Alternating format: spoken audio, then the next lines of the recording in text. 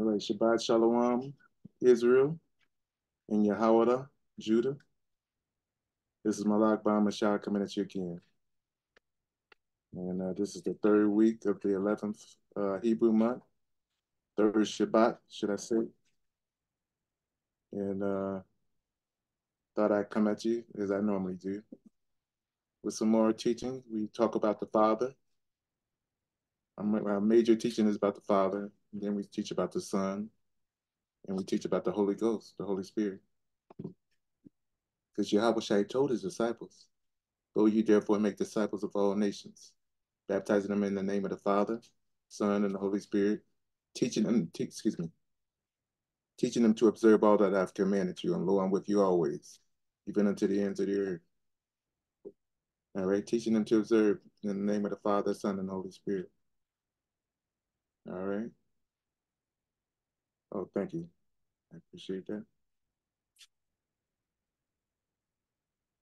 All right. So we still on this teaching, mainly about the Father.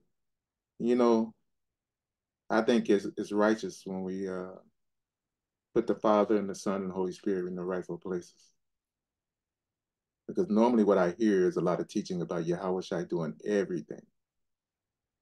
All right? Like Yahawashi doing everything. But what is the Father doing? Oh, he's just leading Yahawashi around in an invisible spirit. You know, there's something wrong with that. And when Yahawashi said that uh, that he sent from the Father to do what he was doing. But uh, we're gonna we're gonna go into this. We're gonna we're gonna explain. Is the you know is the Father gonna come down? Will we see the Father? All right. Will we see the Father? And if we see him, what's to be, what, what is this to be like? All right. As we see in the book of Daniel, let's go there real quick. Book of Daniel, we see the Ancient of Days coming down, right? Ancient of Days coming down. Does he come down before the sun? All right.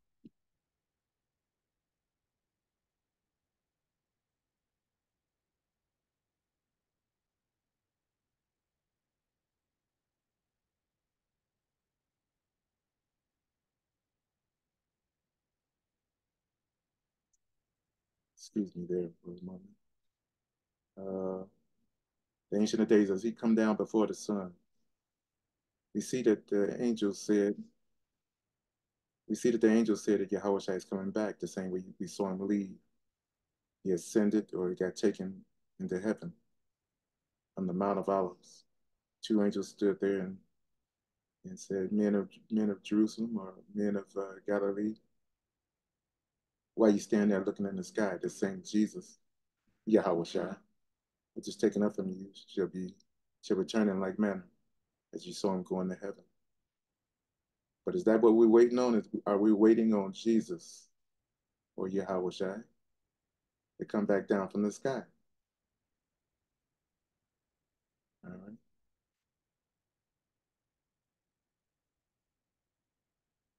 I don't think so. We're going to see him come back. That's true. But will he be the first thing that happens from heaven? No, the scripture says different. We see in Daniel chapter 7, we see uh, four beasts will reign over the earth from the time of uh, Babylon, probably 600 years uh, BC. Four beasts, Babylon, Media Persia, uh, Greece, and then Rome. And we're still in the Rome phase of that fourth beast. All right. Daniel chapter 7, verse 1 through verse 8 speaks about those four beasts in order. So Babylon reigned from 600 BC, somewhere around there, till about uh, 4 or 500 BC. Then we see Media Persia. From 4 or 500 BC till about 300 BC. Then we see Greece, Alexander the Great, 300 BC, somewhere around there, till uh, 100 BC. Then we see Rome rise up. All right. And Rome rises up, and a little horn comes out of Rome, right? A little horn. Let me say a word of prayer real quick. Father, we thank you and we praise you for this Bible study. We ask and pray that you're blessed and bless there to be edification, exhortation, and comfort in the reading of your word and the studying of your word, hearing of your word, as well as the ministering of your word. By Hashem Yahushua Mashiach, we pray. Amen. All right, so uh, we see the Rome, Roman kingdom, the fourth beast is where we're still at. We're still in that phase right now. All right, that fourth beast, uh, let's see, Daniel chapter 7, verse 7. And after this, I saw in the night visions, and behold, a fourth beast, dreadful and terrible, strong exceedingly, and it had great iron teeth. Rome was symbolized by the by the by the metal iron. But each of these beasts seem to have something to do with some type of metal. Uh, with Babylon starting off with gold, you know, real precious metal, and Media Persia with silver. All right. And we have Greece, like bronze, is a bronze metal. And we have Rome that's symbolized by uh, iron. It has great iron teeth. And it devoured, break in pieces, and stamped the residue with the feet of it. And it was diverse from all the beasts that were before it and had 10 horns. All right. So it had 10, basically those 10 horns are like 10 kings or 10, excuse me, 10 other nations or, or realms that reigned with it.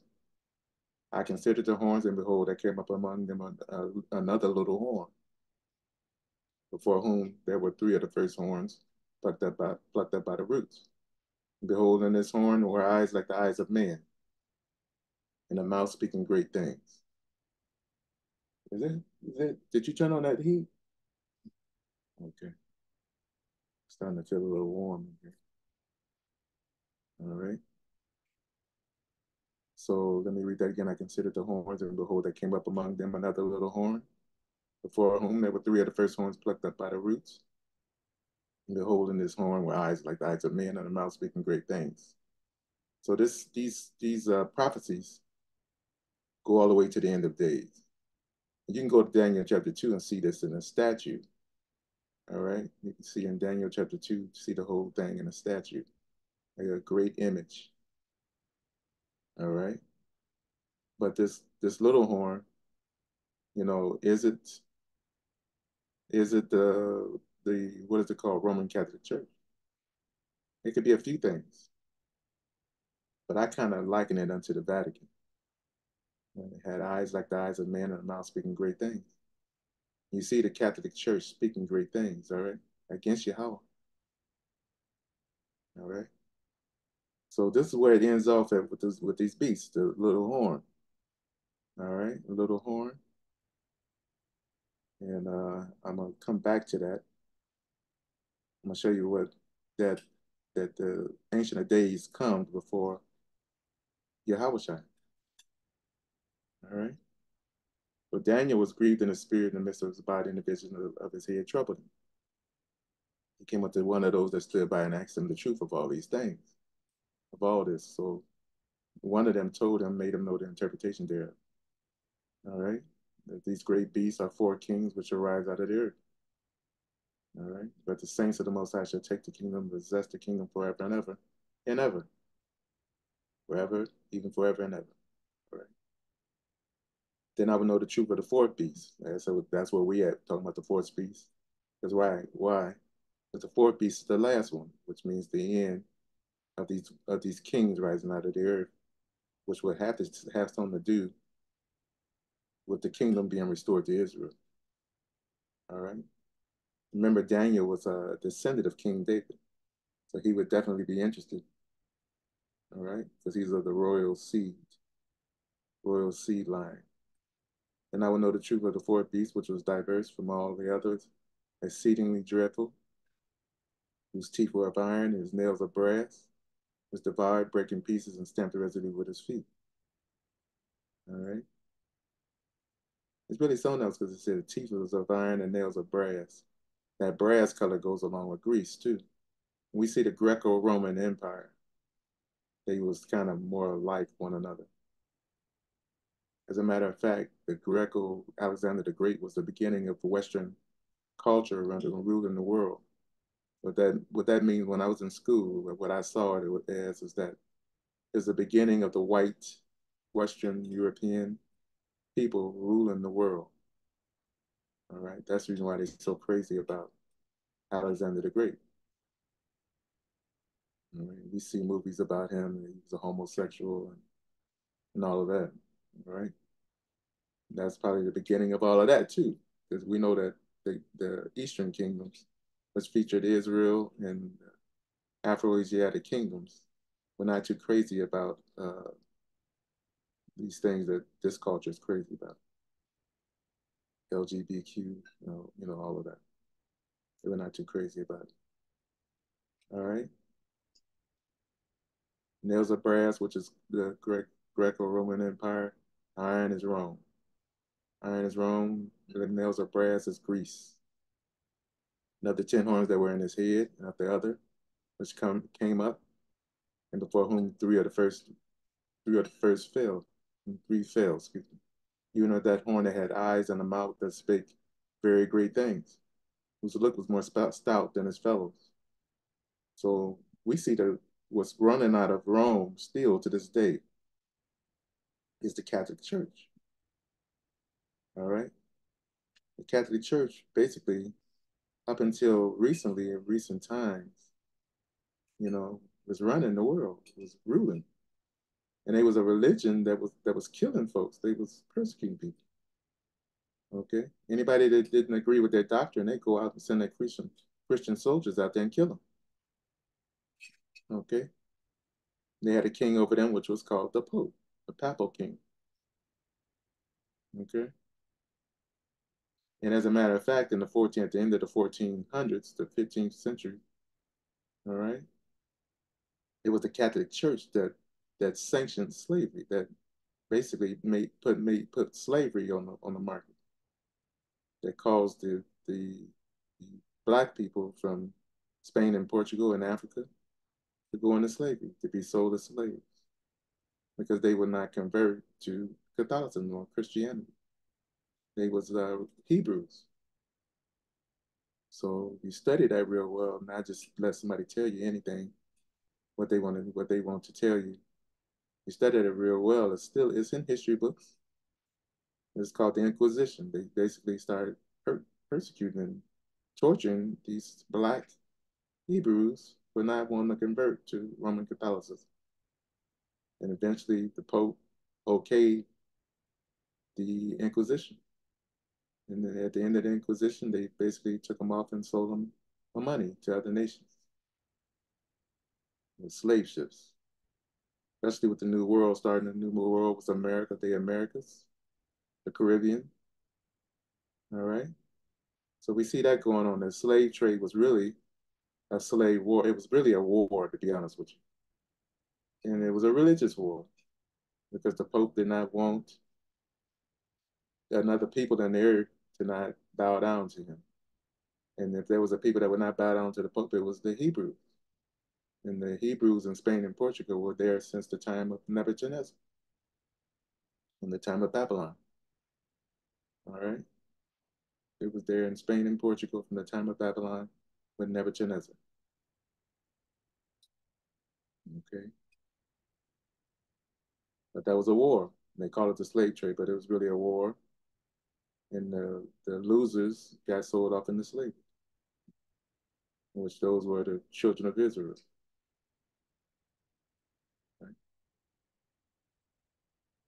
So Daniel 7 17 says, These great deeds which are four are four kings, shall rise out of the earth but the saints of the Most High shall take the kingdom and possess the kingdom forever, even forever and ever. Then I would know the truth. Daniel says he would know the truth of the fourth beast, which was diverse, with the nails of with the teeth of iron and the nails of brass. All right, that's what we were just talking about. That's what we just at, verse 20. And of the ten horns which were in his head, of the other which came up, and for whom three fell, even of that horn that had eyes and a mouth, and spake very great things. His look was more stout than his fellows.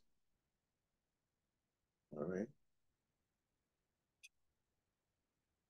I beheld in the same horn made war with the saints. There it is. So where you can find it in the Bible where the, the slave trade was really a war is right here, Daniel 7:21. So there was a little horn that came out of the, the fourth beast, which is Rome. This little horn was really a religious king. He made war. It says he's the same horn made war. Let me highlight that.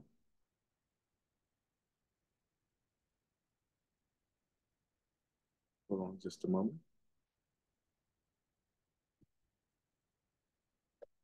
I like this word war. So it was not just slave trade. They just found some Canaanites in Africa and made them slaves because of what the scripture said. It was a war. All right. And uh, they did try to say that that the people that were sold off into slaves were slavery was Canaanites. All right. But uh, I don't think so. I think Canaanites are part of this world system. They're part of the world. All right. And if you, you know, I told his disciples, if you was of the world, the world would love you. But because I've chosen you out of the world, the world hates you. All right. The Israelites are chosen out of the world. So the world hates them. So the Canaanites are part of the system that hates Israel, that, that's on their side. And I guess if you want to believe your church is correct and righteous, that all you're doing is basically righteous stuff, but enslaving some Canaanites or some people you're saying was Canaanites. Make get this get people that type of brainwashing going on. But these people were Israelites, and they didn't come from they. It's a lie to say that they all came from Africa. What was they doing in Spain and Portugal? Huh? If they weren't, uh, if they were Canaanites. And what were they doing with a religion called uh, Judaism? All right. What were they doing with the Judaism religion? Canaanites didn't believe in all of that. They were they were pagan worshippers, Baal worshippers, and all of that. But what was these people that they say it was Canaanites worshiping the, the God of the Bible with a religion that worships that has the Hebrew language and everything, worshiping the God of the Bible. If they were if they were Canaanites, it don't make sense. All right. I beheld the same horn made war with the saints. Who are the saints? The same horn is running the world. this war, this king that's running this world, he's a little horn, made war with the saints. A lot of people saying, no, I don't believe that it's going to happen in the future. No, it already happened. It's already happened. Those are the people that want to stay in denial. It's already happened. They've already made war with the saints and prevailed against them. So where is this happening? All right. I believe in the truth. The truth is what makes you free. And you study these things and find it to be connected up to the people that's over here in the Americas, people of color that was basically in, that was chattel, chattel slaves before they were free from it, and that are still being oppressed. They're still in captivity. This matches up with them. He made war with the saints and prevail against them. Until, let me highlight this word until. that means until something happens. Let's see what that, let's see what happens. That changes things. Until Jesus come down from heaven on the Mount of Olives? No, until there's a highlighted word right there.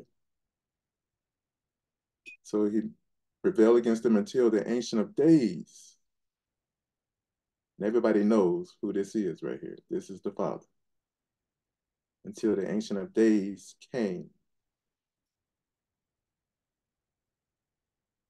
Till the Ancient of Days came. All right. And judgment was given when the Ancient of Days came, judgment was given to the saints of the Most High. And, and, and the time came that the saints possessed the kingdom. This ought to make Daniel really happy right here when he, when he heard this. All right. So you notice they don't say anything about Yahweh coming right there. All right. It's the Ancient of Days that comes. All right. So after the fourth beast, the Ancient of Days comes, he puts an end to the fourth beast. So basically, that war is going to continue on until the Ancient of Days comes. And the Ancient of Days is the one going to put an end to the war. He's going to basically overcome this little horn, this king. He's going to defeat him and destroy him. I beheld the same horn made war with the saints and prevailed against them. He's prevailing until guess what? The Ancient of Days came. All right. So he couldn't whip the Ancient of Days. Who was the Ancient of Days? The Creator. So basically, what's coming before even Yahweh was coming first into the world to change things is the Ancient of Days, the Father. And it says he came. He didn't just leave with no spirit that's in the atmosphere you can just feel his presence and then you get to get power and you overcome. No. I'm gonna show you something real quick.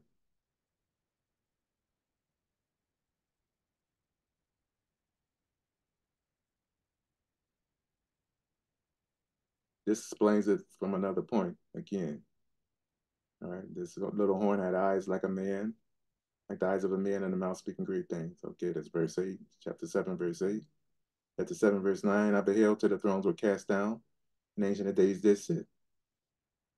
We're going to highlight something real quick here. I beheld till the thrones were cast down. All right, cast down. Let me highlight this. so what happened?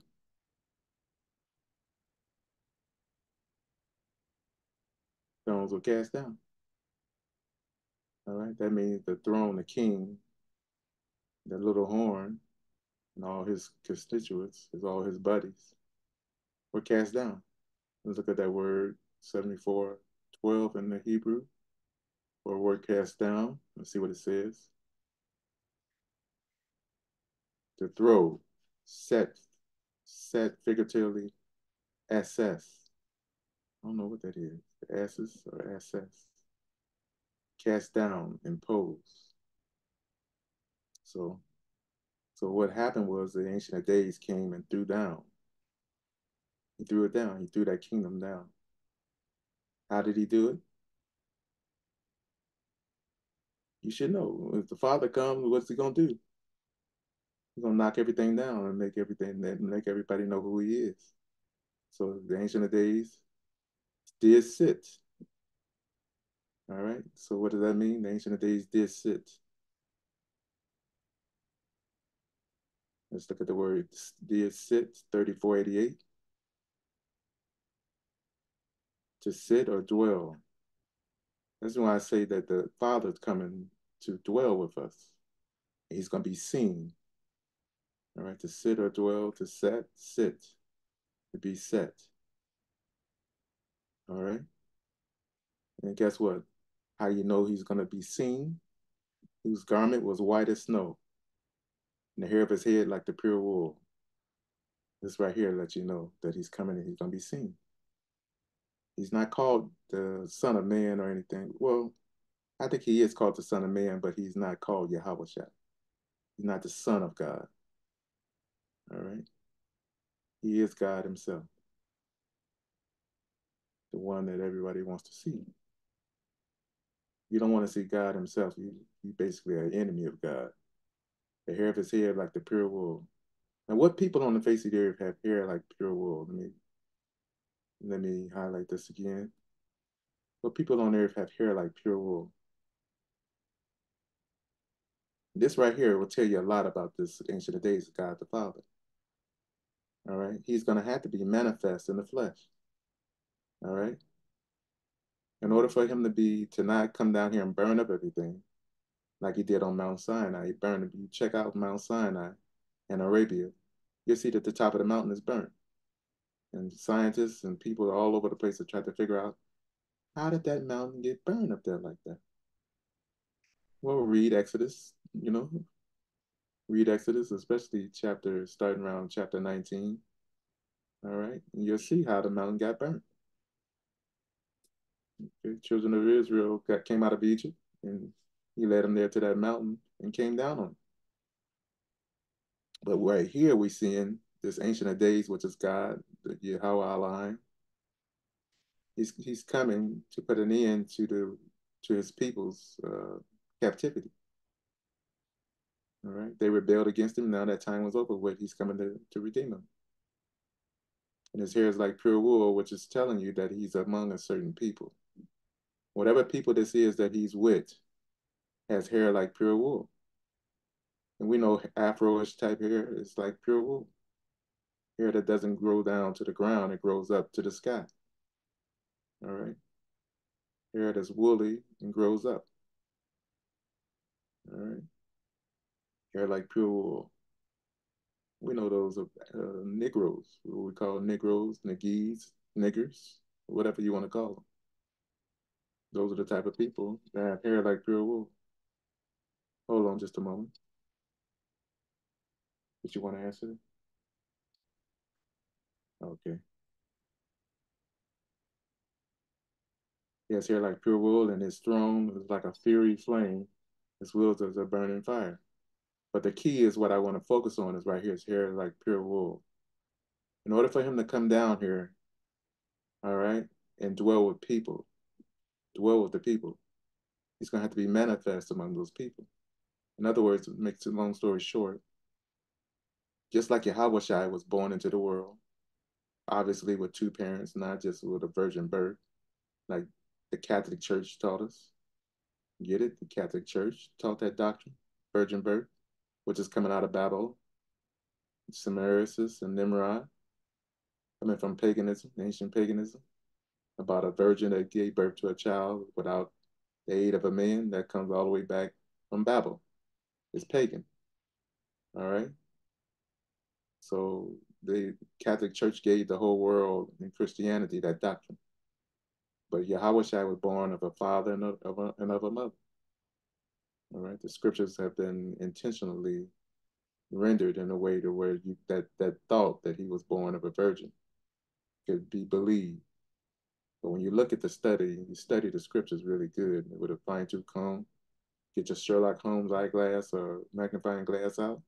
He his father was Joseph. Otherwise, he wouldn't have been able to be sitting on the throne of David or or or an heir to the throne of David. You don't become an heir to a throne in Israel among the Hebrews through your mother. You become an heir through your father. And then that's where someone say, okay, his stepfather gave him because he was he was the stepson. He gave him the, the right. No, it's through the blood. It's through the genealogy. That's how Yah does it. It's through the blood. All right, through the blood, he he has a right. If that's his stepfather, he still doesn't have a right because the stepfather didn't give him his blood. All right. The blood is how you get redeemed. Without the shedding of blood, there's no remission of sin. So God is all about uh, genealogy and, and blood and uh, re having redemption through shedding the blood. So it's the same way you get your inheritance in the land of Israel through the blood. So Yahweh or Jesus was not heir to the throne because he had a stepfather that was. All right, he was he was heir to the throne because his father gave him his blood. He was really a son of Joseph. Now spiritually, he was the son of God, but physically, he was the son of Joseph. Joseph and Mary. All right. So in the same way, Yahawashi, who is the Lamb of God, he's the Lamb of the Ancient of Days. In the same way, this Lamb was sent before the Ancient of Days. He was sent before the Ancient of Days to come into the world. All right. And will shed his blood so that the Ancient of Days would be able to have redemption, salvation. And that's in Revelation chapter 7 when you see the great mass of people with white robes on, standing before the throne, saying, Salvation to our God that sits on the throne and unto the Lamb. What does God need salvation for? Huh? Salvation to our God that sits, sits on the throne and unto the Lamb. What does the Lamb need salvation for? He's the one that through his blood he gave salvation.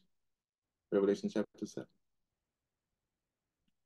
So so Yahweh the Lamb is the Lamb of the Ancient of Days. All right. The Ancient of Days that he's not he's not boasting of, of being the Lamb. The Lamb would be somebody that would that would put to shame sin in his flesh. That's his major purpose. That's the major purpose Yahweh did. He put sin to shame through through his flesh. He never sinned. All right, that's what the Lamb is all about, the Lamb of God, the Lamb of the Ancient of Days. All right, so this Ancient of Days would come down in flesh. That means he would be born just like Yahweh born into the world, except he'd be born in captivity. All right, he'd be born in captivity amongst the Israelites in captivity.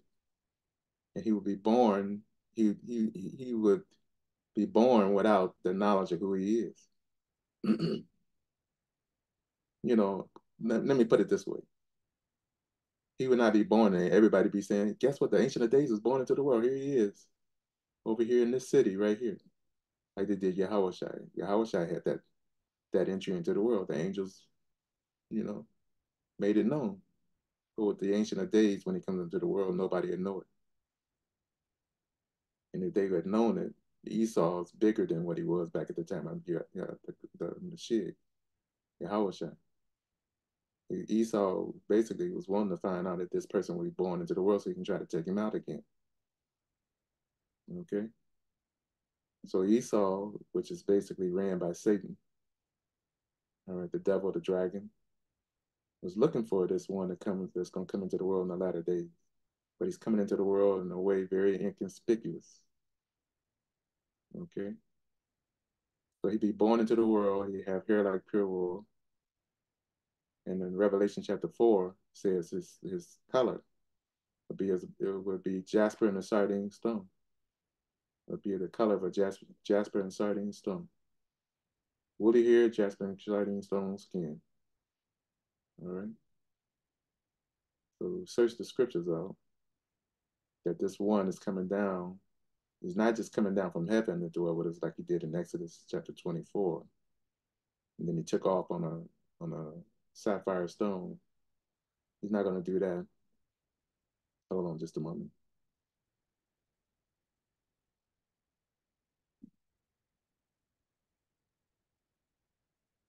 But this time he's coming.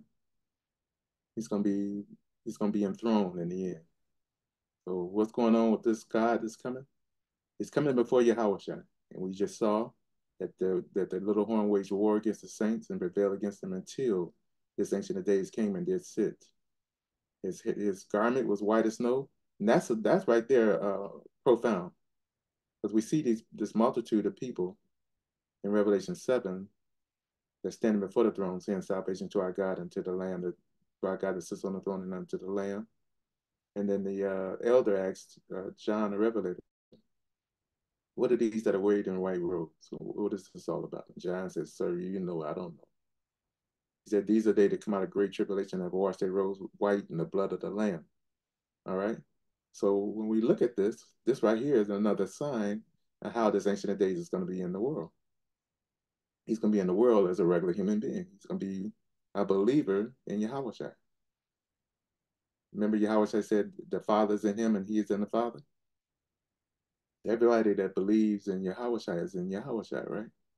Everybody gets born again and believes in Yahweh is in Yahweh. They're in the body of Christ. So this ancient of days would be in the body of Christ. Not only would he be in the body of Christ, but Christ would be in him.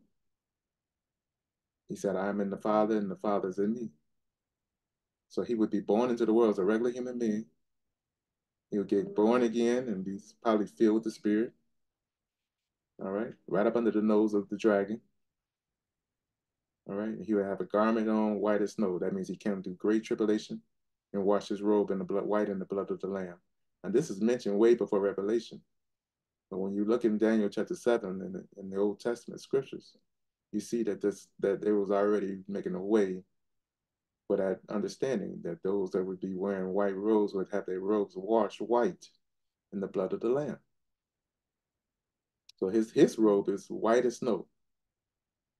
Okay.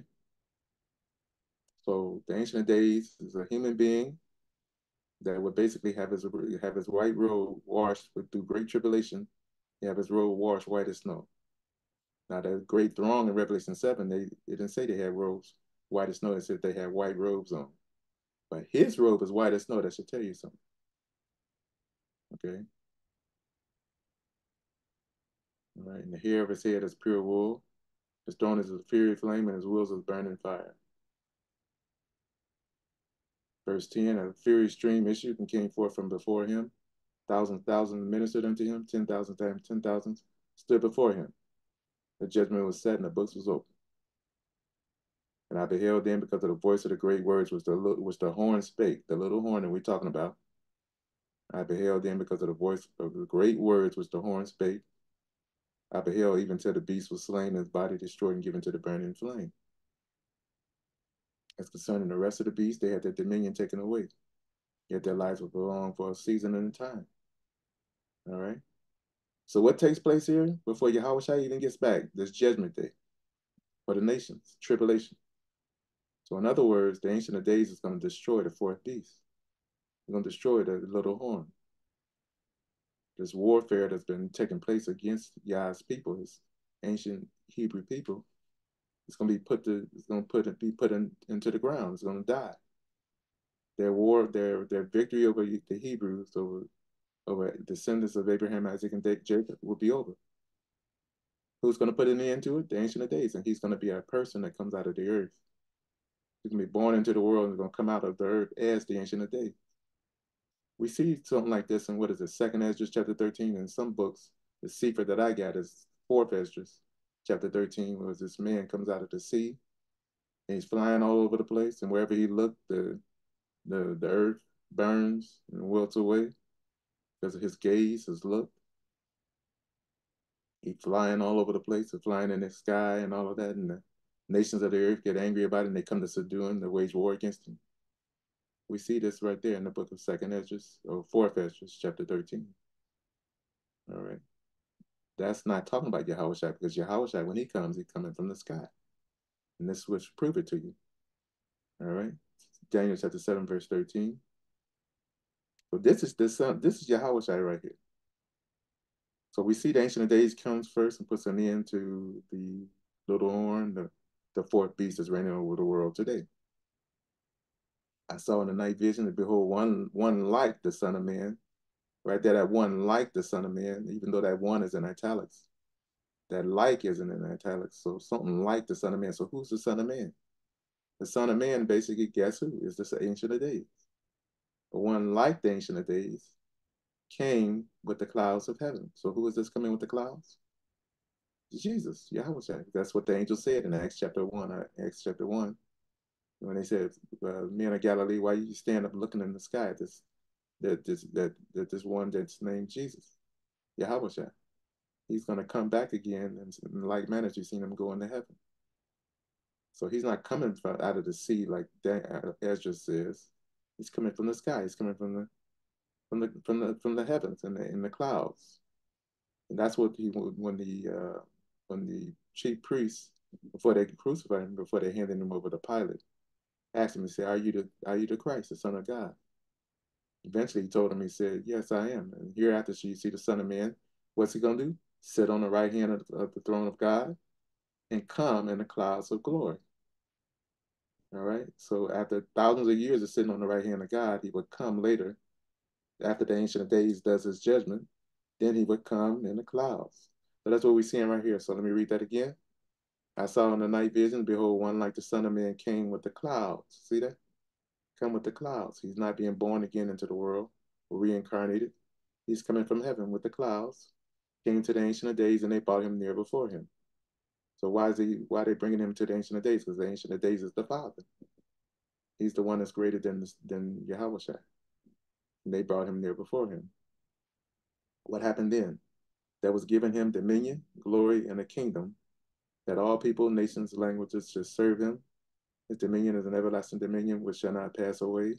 His kingdom that which shall not be destroyed. All right. So who who's the one that judges and puts the the fourth beast, the kingdoms, the kings, and throws down their thrones, uh, their throne to the ground? Who's the one that does that? It's not Yahawashi. It's the Ancient of Days. We're gonna go back up to verse nine. I beheld till the thrones were cast down. The Ancient of Days cast their thrones down, and Ancient of Days did sit. There's a scripture that says, "In that day shall will Yahawah Elohim be exalted." That means no nobody would be exalted but him. Yahawah Elohim alone will be exalted in that day. I think that's how the scripture goes. All right. He will he will be the only one exalted. He's gonna throw every throne down and he's gonna sit on the throne of the earth. After he gets done putting an end to these other thrones and kingdoms and judging them, then Yahawashi comes back. Then Jesus comes back. So what we've been hearing in these churches, that Jesus is the next thing we see, is a lie. Why is it a lie? Because it's been taught to us by the Western Christianity, by the Catholic Church. Because they why? Because the Catholic Church knows that what happens, the truth of what happens is with the Ancient of Days. Daniel chapter 7, verse 9. That's what happens. They don't want you, they don't want to see the Ancient of Days come. In other words, they don't want the Ancient of Days to come, so they, they ignore it. They want to see Jesus come back because Jesus might, if he comes back by himself, Jesus might have mercy on them. No, that's not what happened. Everybody's running around, and you know, all the Protestant churches are saying, well, it's known that the Protestant churches come out of the Catholic Church. But who taught the who taught this doctrine that Jesus is coming back first? The Catholic Church. Because they basically, when they see that, the Ancient Days did sit, that right there is enough to basically make them burn right there hit the lake of fire almost. Oh, I almost fell into the lake of fire. All right. They don't want to know that. They don't want to hear that. They want to keep that quiet. Why? Because maybe they can wage war against him and keep it from happening. See? It's not in the scripture where the ancient of days will be born. He would be born in captivity because his people would be in captivity. But what happens is he grows up and a lot of scriptures that's talking that you think is talking about Yahweh is talking about him and Yahweh They, they basically, it's like a double-edged sword. One side is Yahweh the other side is Yahweh. Like, like Isaiah 53 talks about, Lord, who has believed that report? That Isaiah 53 is talking about both. It's talking about Yahweh and it's talking about the Ancient of Days. Both of them would be born into the world as human beings. The Ancient of Days is not coming into the world as God right off the top. He's the one that becomes. You see that in the scripture. It says he was, he is, and he is to come. He's basically going to be manifested, being born from Israel. He's the basically the man child in Isaiah 66. He's the man child in Revelation chapter 12. That's born from the woman that had the crown of stars, crown of 12 stars on her head, moon under her feet, clothed with the sun, crying and travailing to give birth, she's he's the man child born from that woman, which is basically Israel. He's born out of Israel. Isaiah 66, the man child. He's the one that's going to call Israel to be born in one day, come to pass in one day. All right. And then, and then David says, uh, the Yahawah said unto my Adon. In other words, let me, let me read it like it says it in the King James. All right. Yahawah said unto my Okay, let me read it exactly like it says it. The Lord said unto my Lord, Sit down on my right hand till I make thine enemies thy footstool. When it calls Yahawashi Lord, it doesn't call him Yahweh. And Yahawashi confirmed that. And he said, he said uh, they asked, he asked the, the Pharisees that were constantly, you know, drilling him in scriptures, not looking for it to find him in error. He asked them, he said, what does the scripture say? Who's the Messiah? They said the son of David. He said, if he's the son of David, then why does why did David say, the Lord said unto my Lord, sit on my right hand until I make your enemies your footstool? So he put him to silence with that, all right? That the Messiah that would come into the world would be the son of David, physical, the son of David. All right? So he's the Adon right there. We see Yahweh. Well, cow caps Yah Lord. That's the that's the name that you would you click on, you would find out that name that all caps Lord is Yahawah. And the uh, capital L, little o, little r, little d is Adon. And that's he's talking about Yahweh So Yahawah said unto my Adon is what David said. Sit on my right hand till I make your enemies your footstool. So this is Yahweh or excuse me, this is Yahweh, the Ancient of Days, coming down and making Yahweh enemies his footstool. He's the one that's going to whip their heads. And then when once he puts them down, puts all of these thrones and kingdoms down, then he sends for Yahweh from heaven. Yahweh comes from heaven on the clouds. I saw in the night vision, behold, one like the Son of Man came with the clouds of heaven and came to the Ancient of Days. And they brought him near before him. There was given him dominion, glory, kingdom, by all people, nations, languages should serve him. His dominion is an everlasting dominion which shall not pass away. His kingdom that which shall not be destroyed. So the Ancient of Days is in the position of being like David. David basically kicked the whole world's tail in warfare. Once he basically had Israel reigning over the whole world, when he passed away, he died and he gave the, the kingdom to, to Solomon.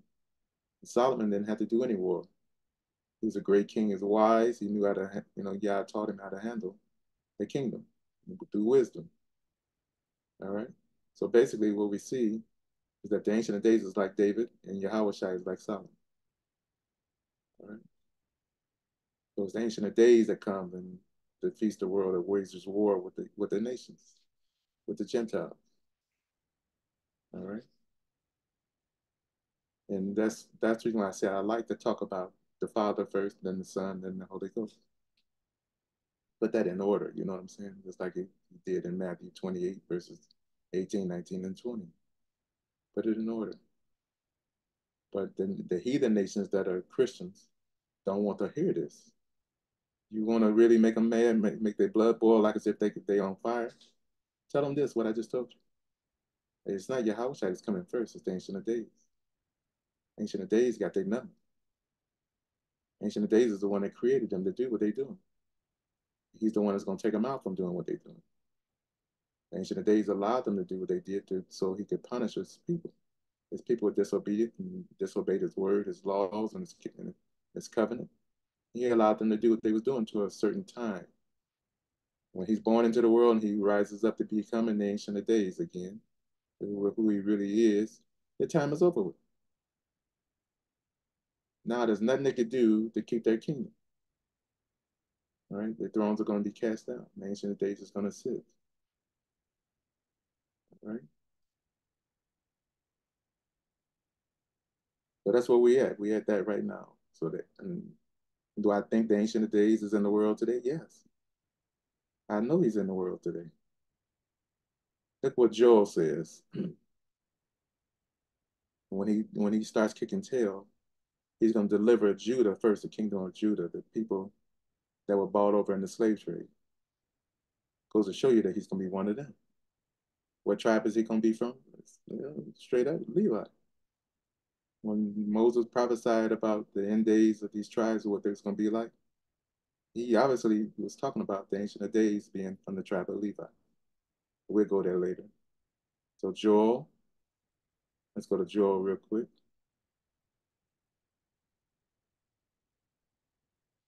Joel chapter 3.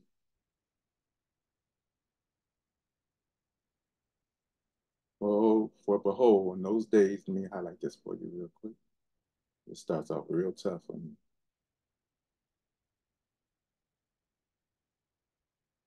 For behold, in those days and at that time when I shall, when I shall bring again the captivity of Judah and Jerusalem.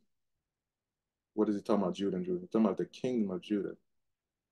All right. The kingdom of Judah, which consisted of uh, Judah, Levi, and Benjamin. And the, and the city of Jerusalem had all 12 tribes in it.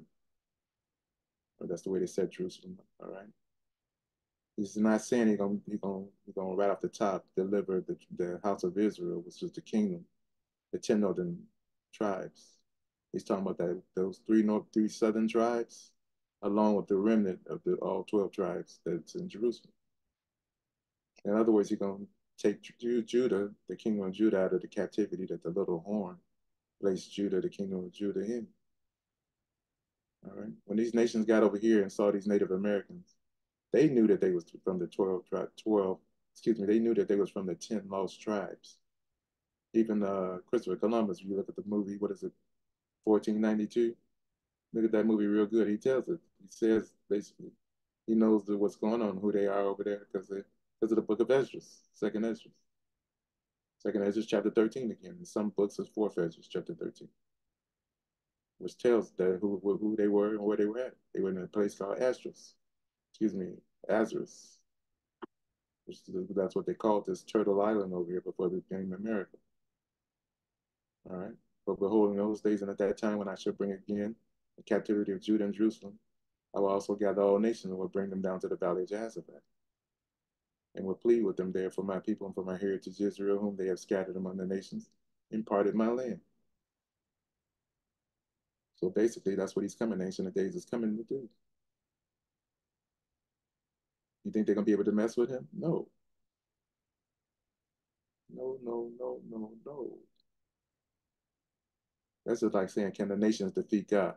Now, I'm to be honest with you. He's put himself in a position to where the nations can say, let's take him on. And they will.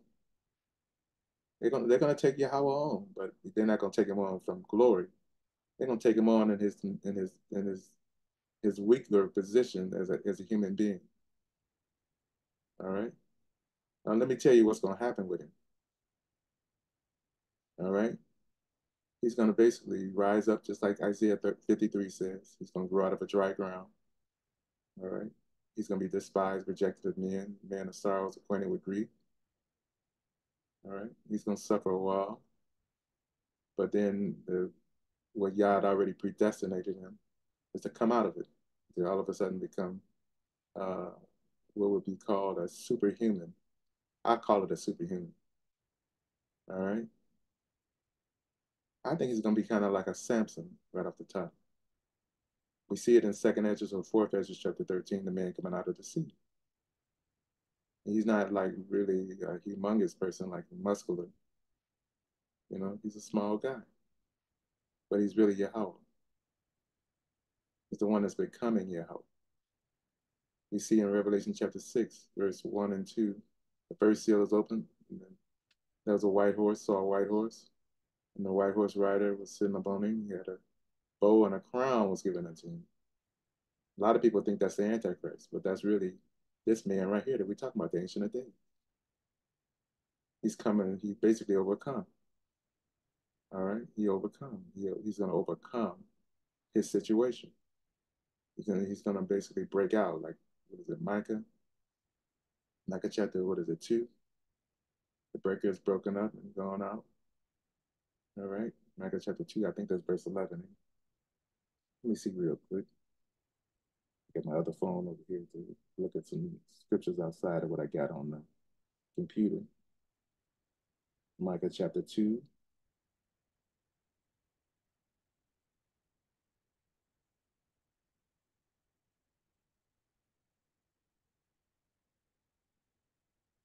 Micah chapter 2, verse 13. The breaker has come up for them and have, they have broken up. Let me read it again. The breaker has come up before them. And that word breaker means like somebody that breaks out. Broken up and come and pass through the gate, and they are gone out by it. And he calls them their kings, says, and their kings shall pass them before them, and Yahawah on the head of them. All right. So the breaker, he's going to be that breaker in Micah chapter 2, verse 13. He's going to go up before them. All right. Where's he going to go up to? He's going to go up to Jerusalem. He's going to go up to the real Jerusalem, the, the physical Jerusalem in Israel. And he's going to go up to the Mount Zion that's in the heavens. All right. he's that he's that little he's that what's that man child in Revelation chapter 12 and he's the man child that's in Isaiah 66. All right. So basically, he scattered his people among the nations, and he's basically telling them why he's judging them. All right.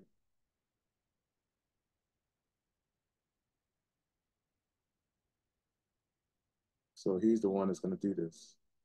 Let me see. Let me see some more scriptures. Hold on just a moment.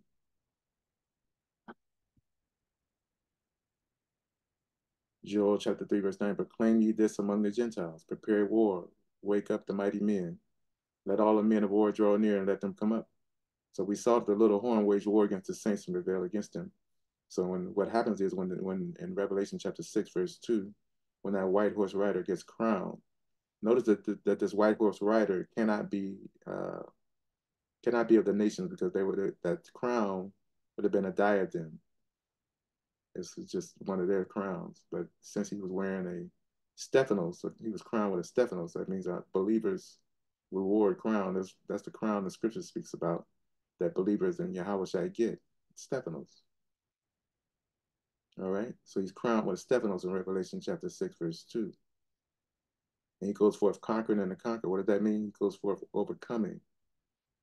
That, that word conquering is the same word for Nikeo, Nike, Nikeo. It goes forth Nikeo into Nikeo. Mean, that's the same word for in the book of Revelation, chapter 2, verse chapter 3. And it says, To him that to him that overcomes. All right, that's that word for he that overcomes. And every letter to each church that was written to, he that overcomes is he that Nikeo. Same word.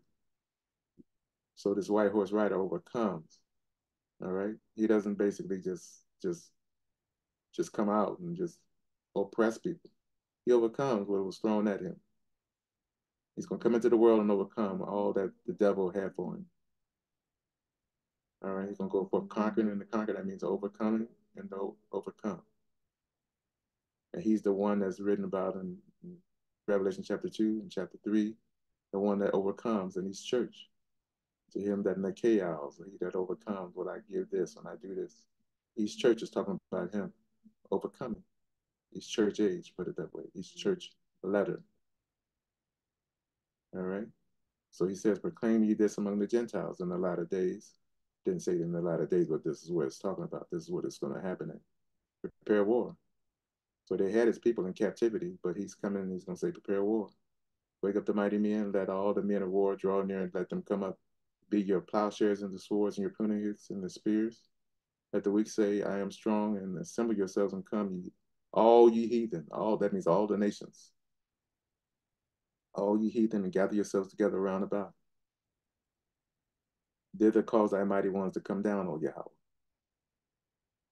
All right. Let the heathen be awakened and come up to the valley of Jehoshaphat. For there will I sit. And we just read that in Daniel said the, the, the ancient of days came and he sat and he had a garment on white as snow and his hair like the pure wool. Well, right here it says, For there will I sit. So this is the ancient of days. A lot of people think that this is just some symbology. They haven't read the scriptures correctly yet. It's not symbolism. This is him going to literally do this. But there will I sit to judge all the heathen round about. The little the ancient of days came and he did sit in Daniel chapter 7, verse 9. Put ye in a sickle for the time, for the harvest is ripe. We see this in Revelation chapter 14 about a man with a crown on his head sitting on a cloud with a, with a sickle or something, you know. Revelation 14, I think it is, or 15. Put ye in a sickle, for the harvest is ripe. Come, get, get ye down, for the press is full, the fast overflow, for, the, for their wickedness is great. Multitudes, multitudes in the valley of decision, for the day of Yahawah is near in the valley of decision. we see this happening in second Esdras or fourth Esdras, chapter 13, where the nations of the earth basically gonna they're gonna have a war, they're gonna be fight with one another. When they see this man that has this mysterious power. They're to leave the war that they have one toward another and come to subdue the man that came out of the sea. This is the man that came, that comes out of the sea. It's not Yahweh This is him right here. What does it mean coming out of the sea? That means he came out of the sea of people, the nations. The sea of people. In Revelation, it said that the woman sat on the sea. She's on a she's on a beast, but the, the she was there was a sea of people so this little horn, I mean, excuse me, this Ancient of Days is coming out of a sea, probably a sea of people that basically worship Catholicism. They have the Catholicism religion. Because the, the Babylon, the, the great, the great whore, basically she's there's a sea of people basically that has to do something with the Catholic Church. People that the Catholic Church reigns over and has to has power over, whether they're in Africa or, or in Europe. But this man comes out of the sea, and you know he comes out of this same sea that a lot of these nations are in that bowing down to the Catholic, the Catholic Church. Comes out of a sea of people. And it does say that in Revelation chapter, what is it, 17 or 18? When it explains the sea, it said these are multitudes. Let's go there real quick. Let me see here. So I don't just be quoting scripture you don't know what I'm talking about. I got a habit of doing it, you know, especially since I got this condition with my stroke last year. Okay, let's see. Let's see, it tells you the sea of people, Revelation chapter, let's go to chapter 17.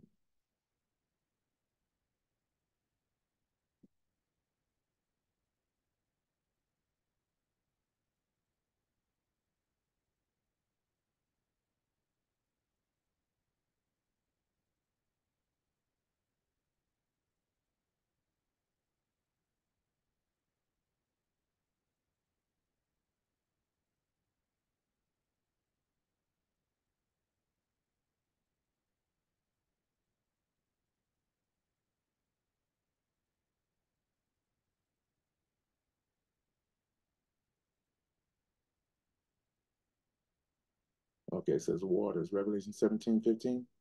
and he said unto me, The waters which thou sawest where the horse sitteth our people, let me highlight this, our peoples, multitudes, nations, and tongues. So the Catholic Church has a lot of people under them. All right. So the Pope has a lot of people that's worshiping him and and uh, sees him as God, uh, the vicar of Christ or whatever. And the people, he said unto me, the waters which thou sawest, where the horse sitteth, are peoples, multitudes, nations, and tongues. Let's see what this word waters means. 5204 in the Greek. Let's see if it says something about seas, a sea or something like that.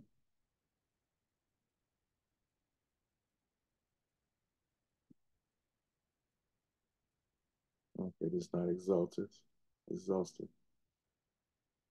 water as if raining literally or figuratively water. All right. So she sits on the sea of people, waters, which are people.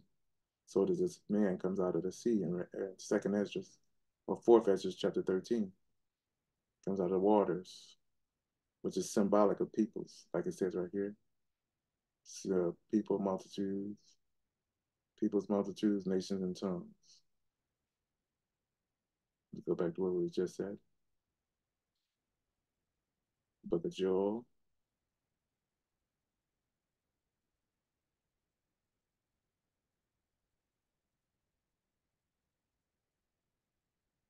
So let's see here. Hold on. Joel.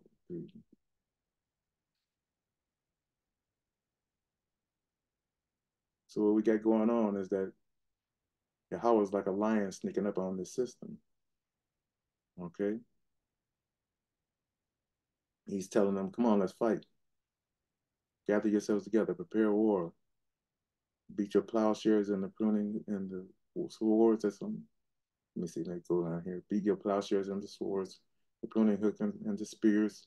Let the weak say, I am strong. Assemble yourselves, all you heathen. Gather yourselves together round about Thither cause thy mighty ones to come down, O Yahawah. Let the heathen be wakened and come up to the valley of Jehoshaphat, for there will I sit. Remember the ancient days will sit in Daniel chapter 7 to judge all the heathen round about. Put you in a sickle, for the harvest is ripe. Come, come get you down, for the press is full, the fast overflow, for their wickedness is great. Multitudes in the valley of decision, for the day of Yahawah is near, in the valley of decision. The sun and the moon shall be darkened, the stars shall withdraw their shining, Yahawah also shall roar out of Zion. All right. Now, what happens is, is that he gets crowned. When he gets crowned, Yahweh I mentioned that time, he said that if those days had not been cut short, no flesh would be saved upon the earth. Because you know, all these these nations got these nuclear bombs. So who's gonna cut the days short? Yahweh's gonna cut it short. The one is coming. He's gonna start the war. What we just saw, prepare war, verse 9 of Joel chapter 3. He's gonna start the war. All right. When he starts the war, he's gonna control the war. That means they ain't gonna be able to do nothing against him. They ain't gonna be able to press a button or anything. All right. Yahawah shall roar out of Zion, utter his voice from Jerusalem. That means when he when he gets crowned, he's kicking tail. He's gonna chase them into the dens and rocks of the mountain. And that's the sixth seal in Revelation chapter six. He's gonna chase all of the rulers, the rich the rich men and the mighty men and the great men. And they're gonna say, hide us from the face of the one that sits on the throne. They're gonna be running to the mountain, fall on us and hide us from the one that sits on the throne. Who's the one that sits on the throne? The ancient of days. He's gonna be in there. Otherwise, why are they saying hide us from the face of the one that sits on the throne? From the wrath of the Lamb. And it didn't say the Lamb was gonna be here, but from the wrath of the Lamb. Because the one that sits on the throne is gonna exercise the wrath of the Lamb. All right. And one that sits on the throne is not Yahawashi, it's the, it's the ancient of days, it's the Father. All right. Yahawah also shall roar out of Zion. That means he's going to do a, a, sacrifice in the temple. He's going to cause the temple to, to, to be erected, to supernaturally probably right there where that dome of the rock is at. It's going to be holy. Except when he when he causes it to be erected, he's going to have a throne in the in the holy of holies instead of the ark of the covenant. All right. And I spoke about that last week and a few weeks ago about there not being an Ark of the Covenant in the Holy of Holies in that temple. Because he basically, Yahweh when he died on the cross, he was the Lamb of God. He tore the he tore the veil in two. That means that the the, the way to God well now was open. That means Yahweh can come down here without killing a bunch of folks. All right? Without burning up people. He can come down here and have mercy. But as far as the nations are concerned, the most people gonna see his wrath, all right? Because they're gonna deserve it. They're gonna basically fight against Yahweh. all right? He, he's not he's not a person that that just wants to come and kill some folks. He's not like that. He's a God of mercy and truth. But what's going to happen is the nations are to fight it, to fight against him, to be taking it to him. He's to tell them, come on up. He, he didn't make them fight. The fact is, fact is, he said, come on up, let's fight, prepare war. And they did. They come to subdue him according to second Ezra chapter 13, fourth Ezra chapter 13. They come to subdue the man that came out of the sea, out of the water. All right. Jeroah out of Zion, that means once he does his sacrifice in the temple. See, let me, let me explain this. He's going to do a sacrifice, and that's Ezekiel chapter 45. The, this prince, he's going to be called the prince in Ezekiel. He's going to basically before he becomes the Ancient of Days, before he becomes Yahweh, and gets caught up into heaven, he's going to do a sacrifice. All right? That's the reason why I can, you know, the scripture speaks of him being a Levite. All right? He's going to do a sacrifice in the temple. He's going to sacrifice in the holy days, especially. Right? You see that in the book of Ezekiel that this prince, in Ezekiel 45 and on, is sacrificing, doing sacrifice, sacrificing creatures. And every time he sacrifices, Israel among the nations is still among the nations going to be blessed. They're going to be blessed. And then that's when the nation's going to say, hey, you know, in the places where it was said to, to everybody, you're not God's people, there should it be called the sons of the living God, Hosea chapter 1, verses 10 and 11, I think it is. That these people are going to see that these folks are blessed. And what's going to happen is they, the blessings going to come on these people and the cursing that was on these people that was that are now blessed, the curse is going to go on to the heathen. We're going to take the blessings off, take the blessings off of the heathen, and place it on his people. We're going to take the curses off of his people, place it on the heathen. All right, hope I said that right. You're going to take the, the, the blessings that are on the heathen, off of the heathen, and put it on his people. To take the curses that was on his people, off of his people, and put it on the heathen. All right? That's what's going to happen. And he's going to do that sacrifice so much to where it's going to catch him up to heaven That's what we see in Revelation chapter 12. We're talking about the son, the man child. It says the man child was caught up into God into his throne. So he's going to get caught up through those sacrifices. He's going to stay up in the heaven for 40 and two months Revelation chapter 13. When he goes up into heaven, there's going to be war. Michael is going to fight against the dragon, and the dragon's going to fight with his angels. They're going to get kicked out of heaven. But what happens when, Mike, when the devil gets kicked out of heaven, the dragon? He comes down and possesses the man that basically meant to be possessed, the son of man, the son of perdition, the man of sin. He's going to possess him that son, that man of sin, that son of perdition, gonna go into that temple that was erected that has the throne and sit on that throne and say he's the God, he's God. All right. And the nations are going to be deceived by it too, because he's going to allow him to have power to deceive them. People that's deceivable, he's going to deceive the, the, the, the, the deceivable. The Bible says that the latter days, Drake, all right. It says, wicked men and seducers shall wax worse and worse, deceiving and being deceived. So the people that's going to be deceived are the, are the ones that are deceivers. All right. When they see that happen, they're going to believe that this one that just that's sitting in the temple now, in the place of the one that you, that did sit in the temple at first, they're going to say that he's the one that's God. All right. Now, what I don't, I don't, I wonder about whether that man child is going to sit in the temple before he's caught up to God. He might not. If the temple might just have a throne in there waiting on Yahweh to come down. But what happens is he gets caught up into God into his throne. If you read that correctly in Revelation 12, he, he gets caught up to being God and sitting on God's throne. See? Because a short work will Yahweh do up on the earth. What work is that? That That's the work right there. It's a short work he's going to do up on the earth.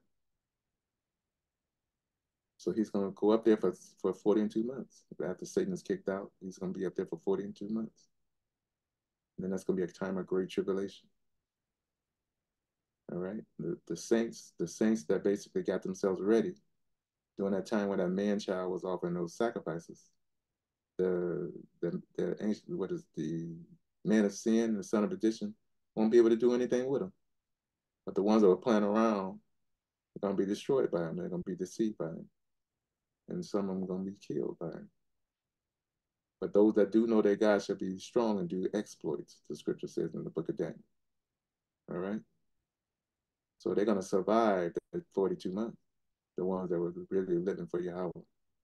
They're going to, be, they're going to survive it. All right? They're going to be strong and do exploits. He's going to be up in heaven for 42 months, and after the 42 months, he's going to come down. When he comes down, he's going to resurrect the saints gonna resurrect. A lot of people that sleep in the dust of the earth gonna rise, some to everlasting life, some to shame, and everlasting content. All right. When he comes down, he's gonna resurrect the saints. And then he's gonna come down. That's when the Antichrist, the man of sin, whoever he is, the son of perdition, is gonna be toast. He and that he and that false prophet, which will probably be the Pope, and be toast because they're gonna get wicked for those 42 months. They're gonna really do some real wicked stuff. But we see that in Second Ezra, or Fourth Ezra, chapter 13, that the man that came out of the sea basically flew up into a great, they formed a, a mountain in the, in the in the air, in the sky, and flew up upon it. All right, he flew up upon it. So that's when he's up there for three, what is it, 42 months. Okay when he comes back, he's going to basically roast the Antichrist and the men, uh, the false prophet. He's going to roast them with fire. So basically, the man that's in Revelation chapter 19, many people think is Yahweh is the King of Kings and Lord of Lords, is really the Ancient of Days. Because Yahweh comes down after the Ancient of Days, puts all of those enemies up under his feet.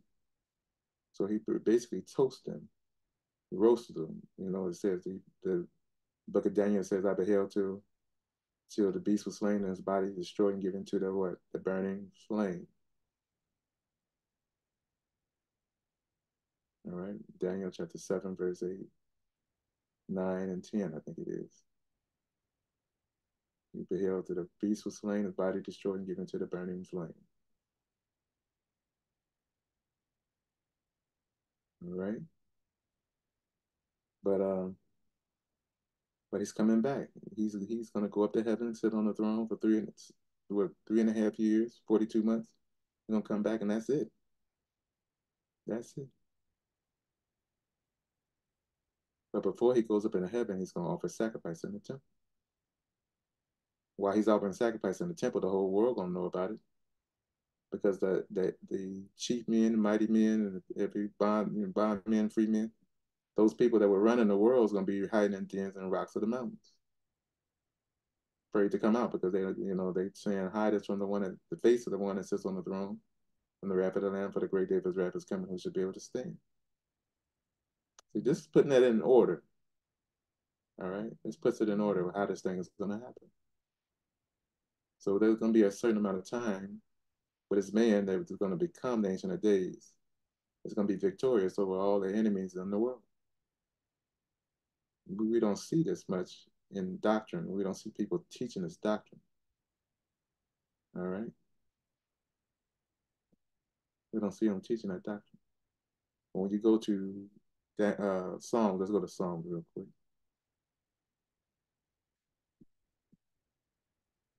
Go to Psalms 21. The king shall joy in thy strength, O Yahawah. Who, who is this? Who is this he talking about? Oh, Yahweh I know. You gotta you gotta read it better than the king shall joy in thy strength, O Yahawah, and in thy salvation, how greatly shall he rejoice. So this is talking about that one that's coming and that's going to become the ancient of days. It's going to become that one that sits as the ancient of days, one that sits on the throne who's really Yahweh. Now remember, Yahweh can be in heaven and on earth at the same time. All right. Now Yahweh can he be in heaven and on earth at the same time? No. He's a he's a regular man like all the rest of us. All right. But Yahweh can be in heaven and on earth at the same time. He can be a human being and be a spirit, a quickening spirit at the same time. But let me read the rest of this. Thou hast given him his heart's desire, has not withholden the request of his lips. Selah. But thou prevented him with the blessings of goodness. Thou settest a crown of pure gold on his head. Is this is this the Stephanos in Revelation chapter six that's going to be placed on his head? All right, because it said, I beheld a white horse, and he that sat upon him uh, had a bow, and a crown was given unto him, right? Let's see, is this the crown that's set on his head? Right Stephanos of pure gold. Let me highlight this real quick.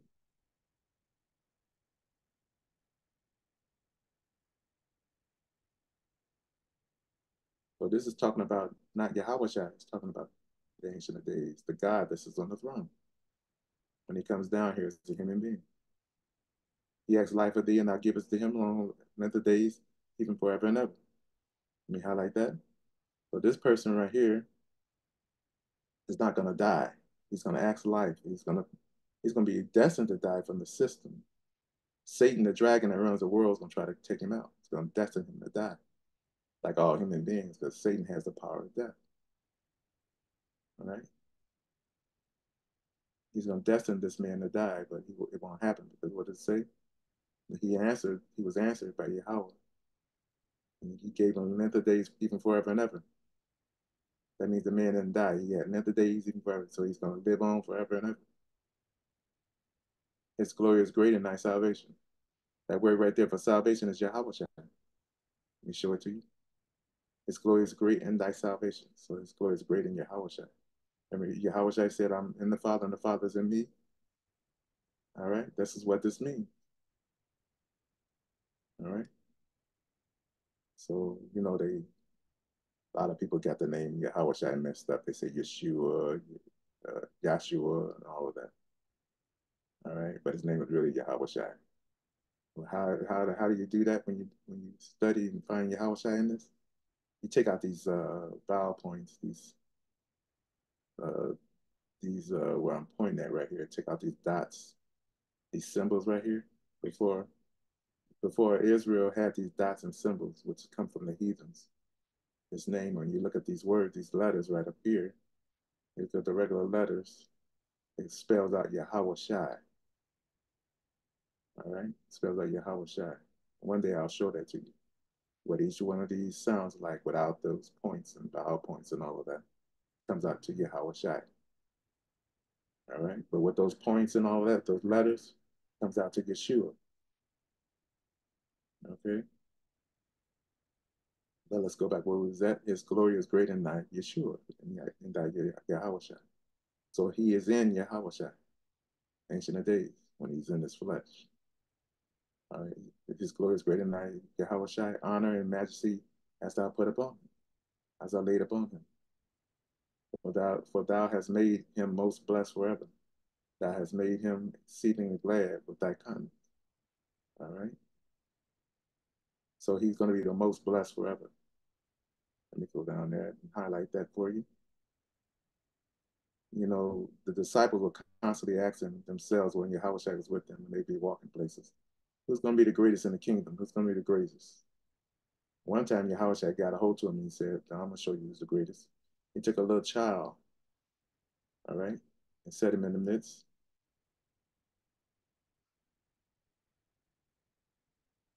Took a little child, let me show it to you real quick. Matthew 18.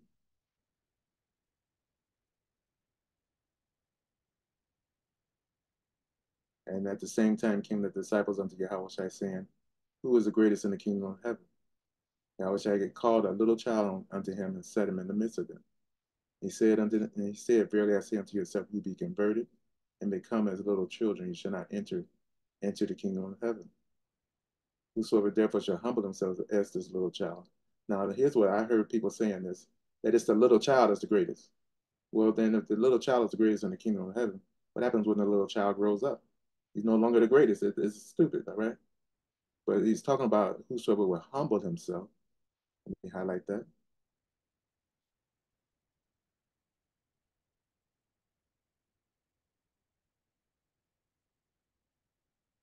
Whosoever shall humble himself as a little child. Whosoever shall humble himself as this little child, the same as the greatest in the kingdom of heaven. Now I'm going to answer this before before we go on further the same as the greatest in the kingdom of heaven. All right. So who's the greatest in the kingdom of heaven? But guess who? It's Yahweh, the, the king. So is Yahweh the king or, or is Yahweh the king of the, of the kingdom? Yahweh is the prince because his father is the king. So basically, he's telling you what his father is going to do when he comes to earth. He's going to humble himself as this little child.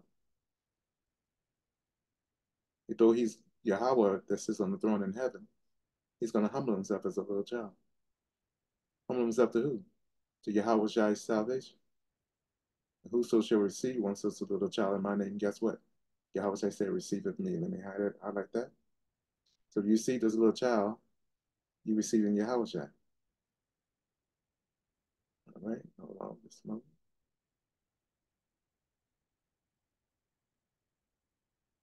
So whosoever shall receive one such little child in my name, receiveth me. But whosoever, watch this. Now here's the biggie. Here's the biggie. This is what this is what's going to take place to the to the nations. All right. But whoso shall, shall offend one of these little ones, which believe in me, it were better for him if a millstone were hung around his neck, and that he would drown in the depths of the sea. So that's what happens to the nation. That's the reason why he, he fights the nations and drowns them. He, he destroys the nations because they offended him. How did this happen? Does it say that in the Bible? Yes, it does. Revelation 18. Does it said it would, it would be better for him if a millstone, right here, the word millstone, were hung around his neck and he would drown in the depths of the sea. Okay, watch this. Revelation 18. Because remember, the, the greatest in the kingdom is the Father, is the Ancient of Days. So he humbles himself like a little child. Like Yahweh said, whosoever shall cause one of these little ones to stumble. That's what the word offend means. Let me do that before we go to Revelation 18. All right, this word right here is scandalizo. You know, if you know regular human language, you know they're coming from that word scandalize. Greek 4624, scandalizo. Coming from to scandalize, see that? Let me highlight that for you. Except this scandalized means more than just than, than the, the, what they made it in the in the English language. It means from the from Greek 4625 means to trap, to entrap. So what did they do to the Father when he come down here as a human being? They entrapped him. That is to trip up. Oh, let's highlight that too. So what did they do to him when he came into the earth? They tripped him up. What does that mean? We're gonna see that in a second. Over. I'm just highlighting as much as I can. Figuratively to stumble. They're gonna make him, guess what, stumble. Isn't that something? Huh? How they gonna make him stumble? How they gonna make the father stumble when he comes into the world? Transitorily or to entice, that's it right there. To entice to sin. That's why the father, the Yahweh says, called the Lamb of Yasu. It's called the Lamb of God. He's not the, he's not the Lamb of Israel. He's not the Lamb of the people. He's the Lamb of God. God would come into the world basically and be enticed to sin. He'd be tripped up. Not that God is a sinner or loves sin, is evil or wicked, but they're gonna trip him up, entice him to sin, to do what is what the, in their laws what is wrong. They don't judge him by their laws. All right. Get him in apostasy because he's gonna come down as a human being. He's not coming down as God. He's coming down as a regular human being, basically, or a displeasure. They're gonna either apostasy or displeasure, make to offend. They're gonna make him offend. See that? That's what that scandalizo word means. But whosoever shall offend one of these little ones that believe in me, see that? That's greatest with this one that's the greatest in the kingdom, they're gonna offend me. That means they're gonna scandalize him, they're gonna scandal, they're gonna make him trip up, they're gonna entice him to sin. So why? So that they could destroy him. All right. Remember, Satan is like a prosecuting attorney in heaven. All right. Let's go to Revelation 18.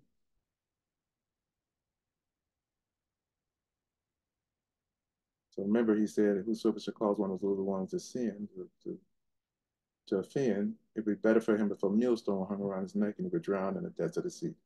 So Babylon is being judged here in Revelation 18.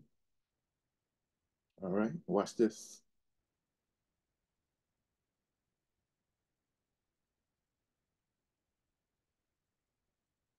Revelation 18, 21, and a mighty angel took up a stone like a great millstone and cast it into the sea, saying, Thus with violence shall that great city Babylon be thrown down. Shall be found no more at all. All right. So what happened there? Babylon is going to be guilty against Yahweh. This is what she did to, to Yahweh when he came down. In human flesh as a regular person. This is what she did. Kind of like when they uh when Yahweh sent those two angels in the in the in the Sodom. And they wanted to rape the two angels. That showed Yahweh enough right there to let them know that they needed to be judged. All right. So Babylon is mystery Babylon in the latter days. Nobody can the scripture sees it as a mystery. It's going to offend this man, which is really Yahweh. Make him to sin, make him to, they're gonna try to destroy him, scandalize him. What did Yahweh said? Whosoever shall offend one of these little ones that believe in me, it'd be better for millstone hung around his neck and drown in the depths of the sea. So we see Babylon right here being thrown into the sea like a millstone. and she shall be found no more at all.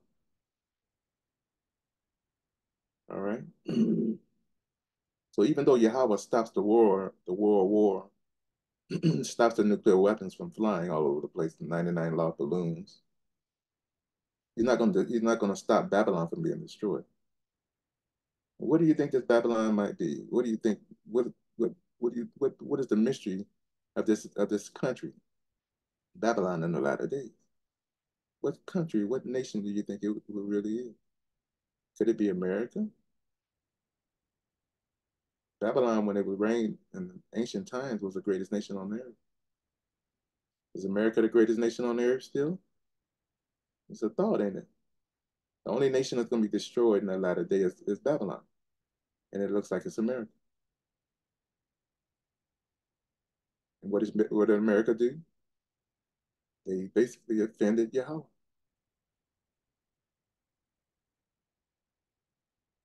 All right.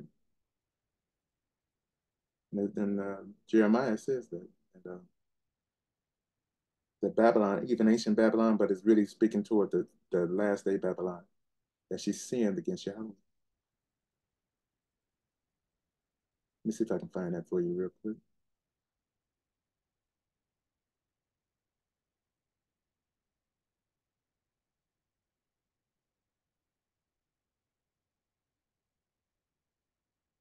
Hold on just a moment.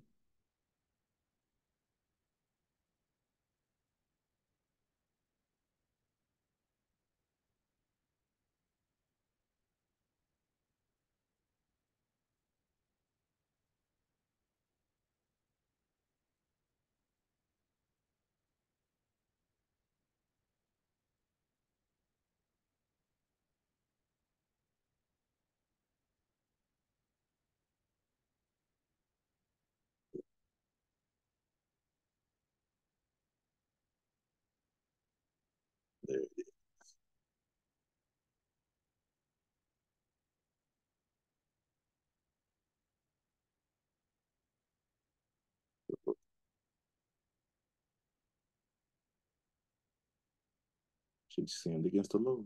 How did she sin against the Lord? Right in person. Let me see here. Against. Okay, hold on. But it's right there, you know, I've read it before, where Yah basically accused Babylon of sinning against him. But how did Babylon sin against him? Literally. She sinned against him literally, personally.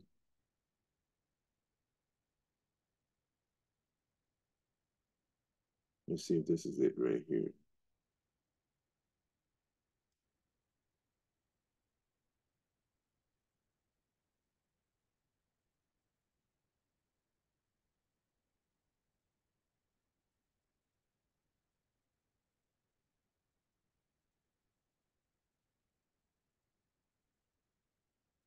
There it is. Okay, we're gonna find Jeremiah. Let's go down.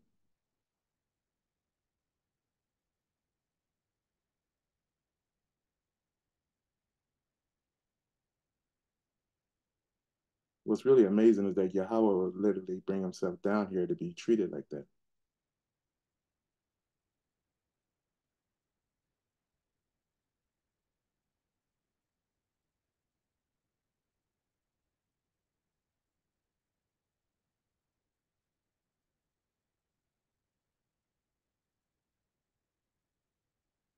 Okay, there it is. Jeremiah chapter 50.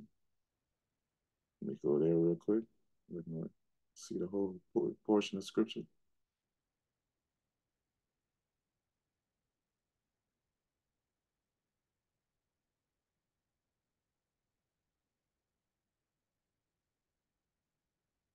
Uh, the mystery of God in Revelation chapter 10 is what we're talking about.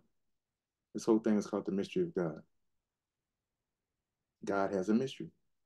The mystery of God is that he's coming down to manifest in the flesh, justified in the spirit, seen of angels, preachers to the Gentiles, received up in the glory. That's the mystery of God. So he's going to be manifest in the flesh. Most people think, oh, that's Yahawah, that's Jesus. No, it ain't.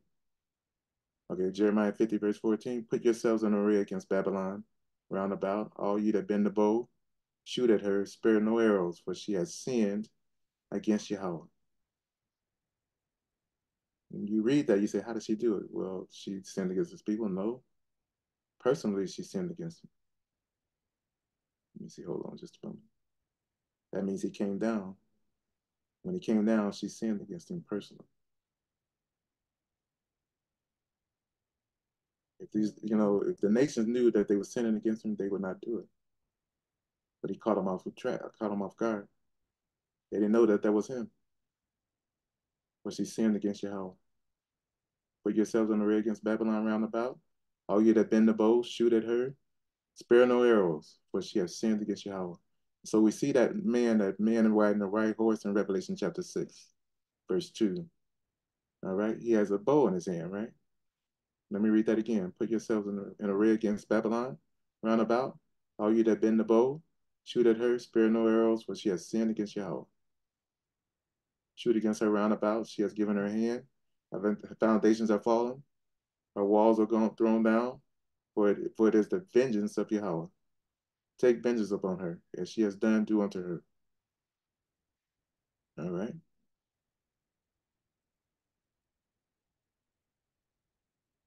So this is the reason why we talk about Yahawah most of all, we talk about Yahawashi next. All right.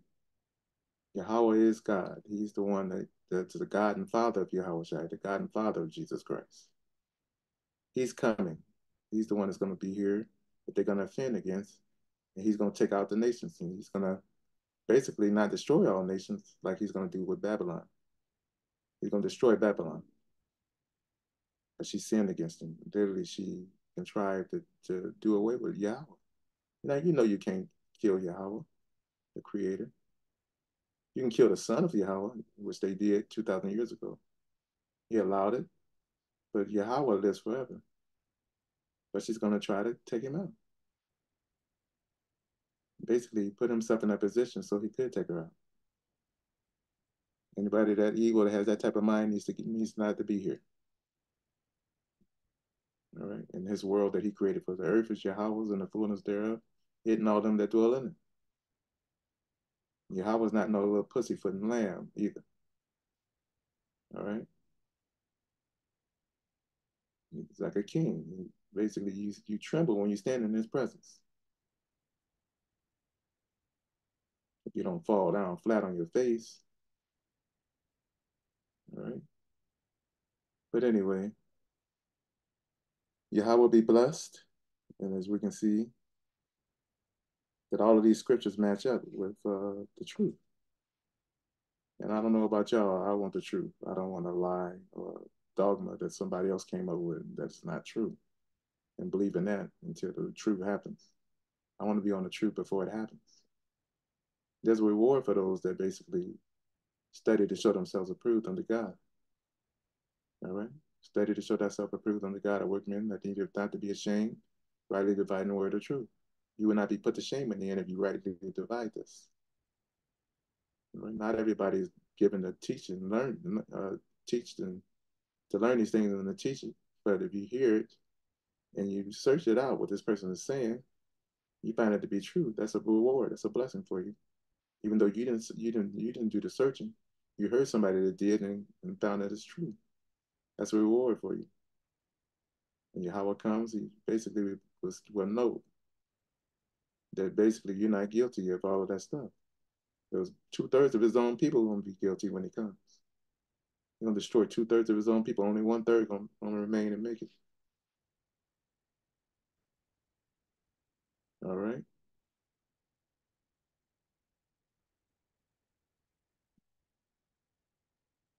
I pray that you were blessed and that this is another week where you're inspired in Yahawah. That Yahawah blesses you with the knowledge and the information you're getting. I'm telling you, this is the truth. All right. So it's not Yahawah that's coming. He's coming second, but the first one is coming. There's not no rapture, no church. People getting caught up in some clouds. Where they going? He didn't make people to go up there to heaven and live up there. All right. There's no rapture, no church. It's Yahawashi. Yeah, excuse me, Yahawah is coming. He's going to judge. He's going to be king. And he's not going to be playing. All right. I hope you heard me. Shalom.